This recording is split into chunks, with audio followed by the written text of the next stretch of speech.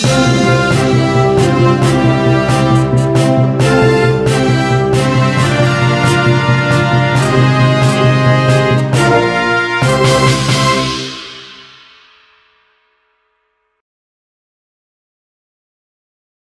¿Qué tal? Muy buena noche, bienvenidos a CNC Noticias, este inicio de semana, viernes 5 de febrero, año 2016.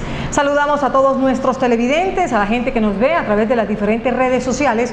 Un saludo bien especial para todos aquellos que nos ven también a través de cartagocity.com.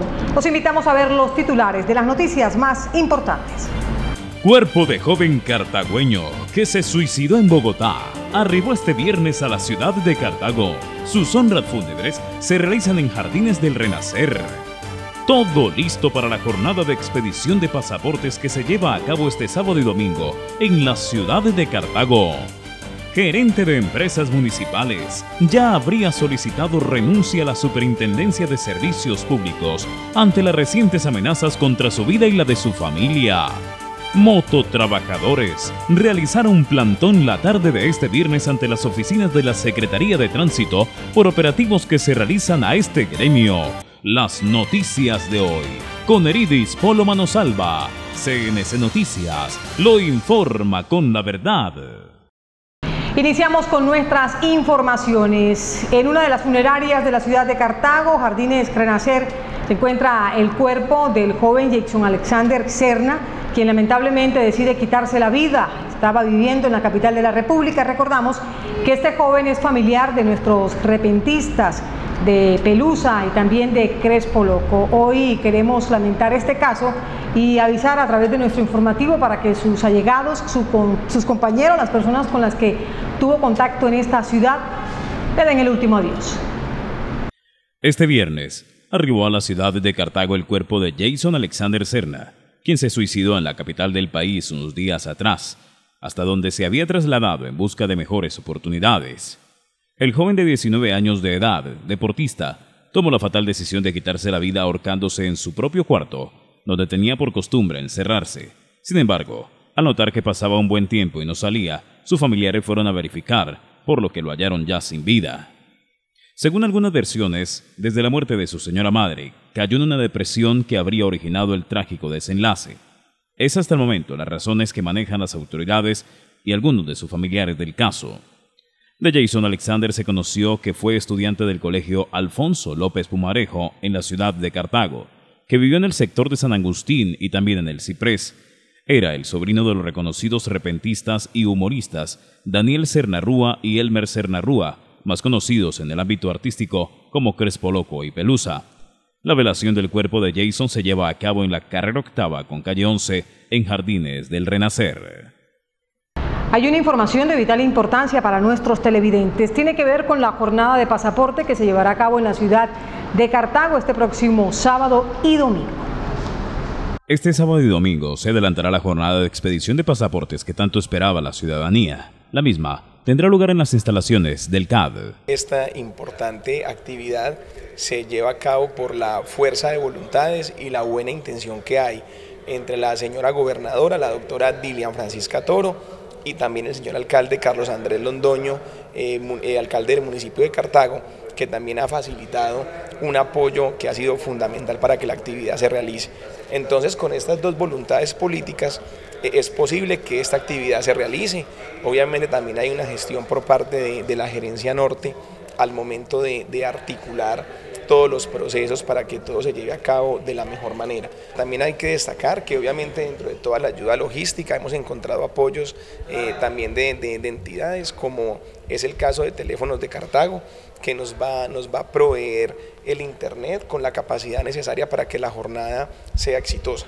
Según la gobernación, dependiendo de cómo respondan los cartaguños a la jornada, se podría estar pensando en hacerlo nuevamente. Con la actividad de pasaportes, ¿qué es lo que se espera? Que haya una respuesta positiva de las personas, de los ciudadanos de Cartago y de la región del norte del valle, para que esta, esta importante actividad se pueda seguir planeando y coordinando eh, en el año eh, en varias veces, ¿cierto? Entonces, con base en los resultados que arroje este primer encuentro, inmediatamente entraríamos a programar eh, nuevamente las actividades en tiempo periódico.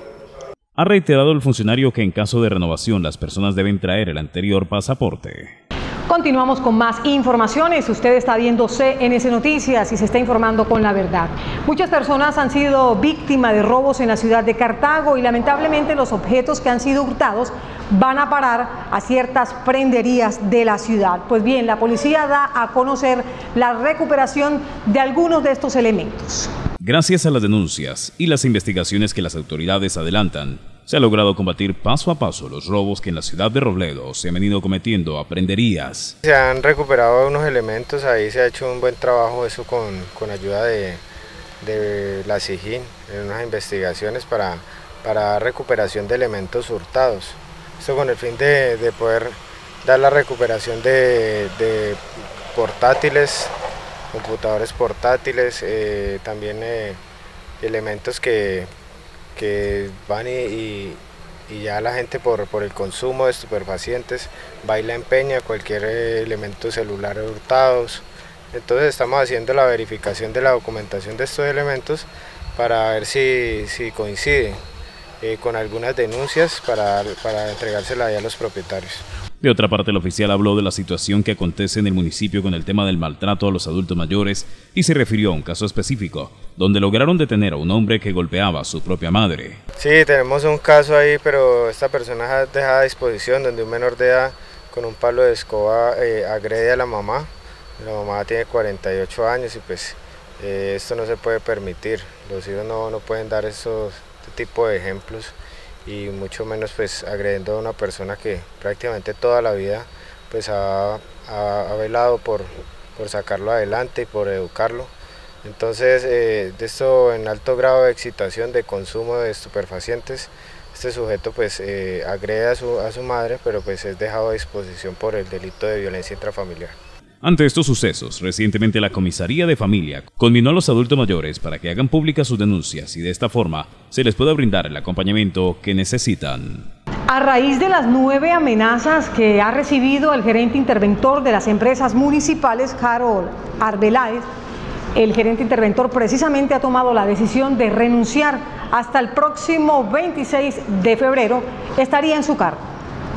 El gerente interventor de las empresas municipales de Cartago, Harold Arbeláez, denunció amenazas de muerte en su contra y de su familia por medio de panfletos y llamadas intimidatorias. Una situación que fue colocada en conocimiento de las autoridades la semana pasada, yo hice la denuncia, Personalmente voy a eh, eh, ir hasta la ciudad de Bogotá a hablar con, la Fiscalía General de la Nación para que eh, ese caso lo atiendan e investiguen absolutamente todo aquí en las empresas municipales, a ver qué es lo que está pasando, cuáles son los intereses que hay de por medio para que los agentes especiales no puedan hacer su labor o el gerente no quiera o no, o no pueda hacer su labor por medio a, o por miedo a las amenazas que se están presentando continuamente. Yo la verdad estoy considerando el tema porque mi familia también eh, eh, en este momento no está de acuerdo que yo me, esté aquí desempeñando mis labores. Este funcionario que fue enviado por la Superintendencia de Servicios Públicos desde el pasado 26 de septiembre del año 2014 indicó que ya puso la situación en conocimiento de las autoridades pertinentes. Es una situación molesta, pero que yo no me voy a quedar con los brazos cruzados, voy a tomar mis precauciones en la parte de seguridad eh, ya los diferentes organismos de, de, control y además los investigativos tienen conocimiento absolutamente de las cosas que están sucediendo aquí en Cartago. Arbeláez aseguró que por esta razón estará en su cargo solo hasta el próximo 26 de febrero.